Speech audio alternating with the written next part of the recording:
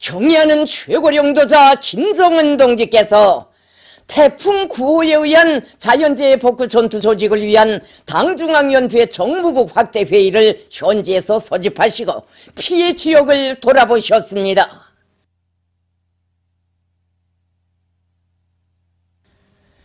조선노동당 위원장이시며 조선민주주의인민공화국 국무위원회 위원장이시며 조선민주주의인민공화국 무력 최고사령관이신 우리 당과 국가 무력의 최고령도자 김정은 동지께서 태풍 9호에 의한 함경남도와 함경북도의 자연재해 복구 전투 조직을 위한 당중앙위원회 정무국 확대 회의를 피해 지역 현지에서 소집하시고 지도하셨습니다.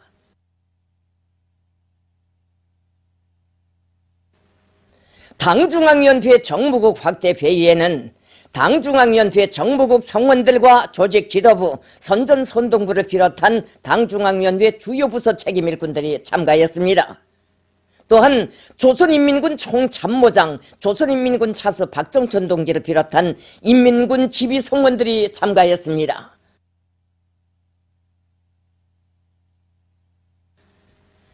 최근 우리나라의 여러 지역에서 발생한 큰 물과 태풍 피해를 가시기 위한 복구 전투가 긴장하게 벌어지고 있는 가운데 지난 9월 3일 또다시 태풍 9호에 의하여 함경남도와 함경북도에서 피해가 발생하는 난관이 조성됐습니다.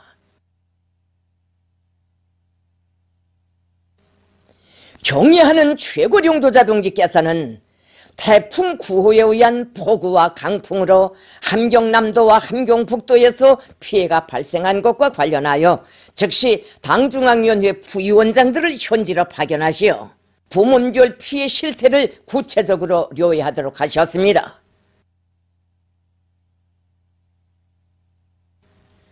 9월 5일 함경남도 태풍 피해 지역에 도착하신 경의하는 최고령도자 동지께서는 당중앙위원회 부위원장들로부터 현지에서 요에 장악한 태풍 피해 상황에 대해서 상세한 보고를 받으시었습니다.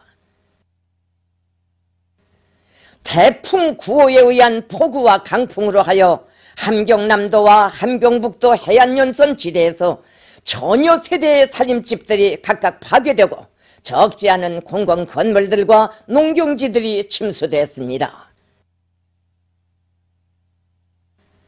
당중앙위원회 정무국 확대 회의에서는 함경남도와 함경북도의 피해 복구 문제가 심도 있게 토의됐으며 이 지역들이 급파할 건설 역량 편성 문제와 설계, 자재 수송 보장 문제를 비롯한 구체적인 대책적 문제들을 연구 확정하고 결정했습니다.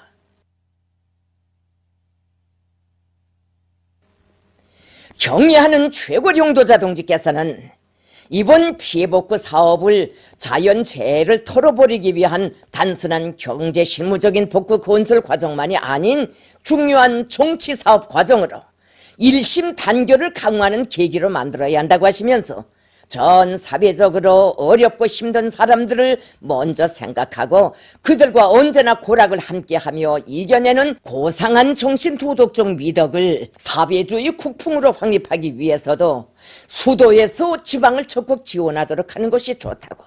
나라가 어렵고 힘든 때 마땅히 당원들 특히 수도의 당원들이 앞장서는 것이 우리 사회의 일심 단결을 더욱 강화하는 데 크게 기여하게 될 것이라고 하시며 당중앙은 평양시의 핵심 당원들에게 수도 당원 사단을 조직하여 떨쳐나설 것을 호소할 것이라고 말씀하셨습니다.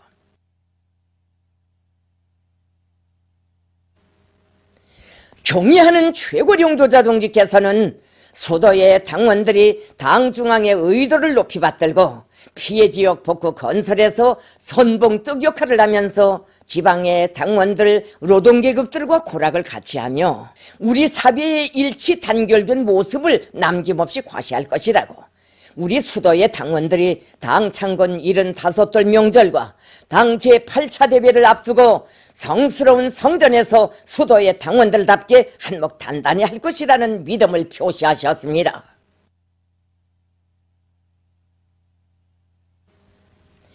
경의하는 최고령도 자 동지께서는 몇 해 전 북부 피해복구 전투 때와 같이 이번에도 수송 부문에 총동원령을 내리고 수송 조직과 지휘를 완강하게 내밀어 복구용 자재들을 건설에 지장이 없이 보장하도록 해야 한다고 강조하시면서 주요 복구 건설용 자재 수요를 타산해 보시고 보장 대책들을 하나하나 세워주셨습니다.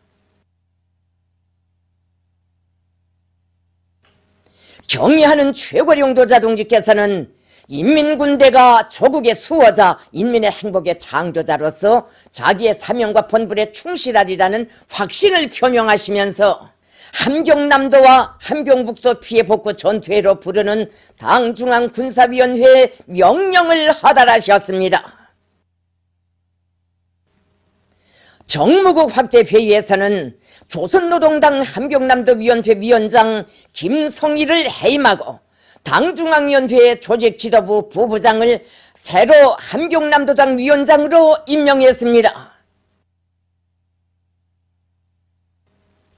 경리하는 최고령도자 김정은 동지께서는 회의를 마치시고 함경남도 태풍 피해 지역들을 현지에서 요야하셨습니다.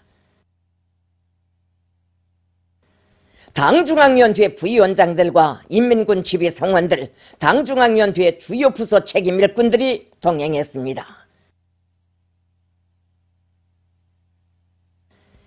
경의하는 최고령도자 동지께서는 이번에 입은 해일 피해가 보여주듯이 지금 우리나라의 전반적인 해안연선 지대들의 안전 대책이 불비하고 해안 방조제들이 제대로 건설되지 못했다고 엄하게 지적하시면서 이 문제도 장차 우리가 중요한 정책적 과업으로 틀어주고 시급히 대책해야 할 사업이라고 말씀하셨습니다.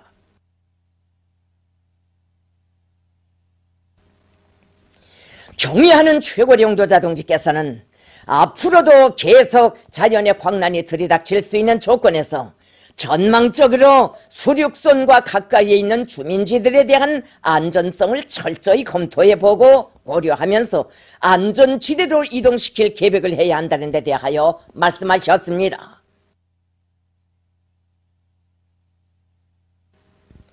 경의하는 최고령도 자 동지께서는 해일과 태풍 영향으로부터 주민 지역들과 농경지들을 보호하기 위한 영구적인 해안 구조물들을 질적으로 일떠 세우자면 해양 및 수리공학 부문의 과학연구 단위들과 항, 부두 방파제 설계를 전문으로 하는 설계 연구소들을 망라하여 해안 방조제와 항만 방파제를 표준 공법대로 건설하기 위한 연구와 설계를 잘하도록 하고 국가적인 역량을 동원하여 연차별 계획에 따라 건설해 나가야 한다고 말씀하셨습니다.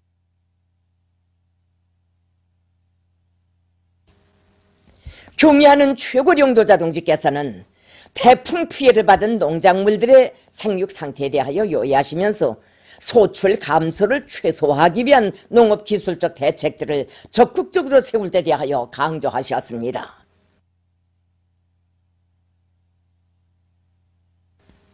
경의하는 최고령도자 동지께서는 자연의 광란이 이토록 엄혹하고 막아서는 시련이 아무리 많다 해도 우리 당과 인민은 반드시 일심일체가 되어 위대한 새로운 승리를 이룩하며 전진할 것이고 우리 국가는 반드시 더욱 부강번영하게 될 것이라고 확신하셨습니다.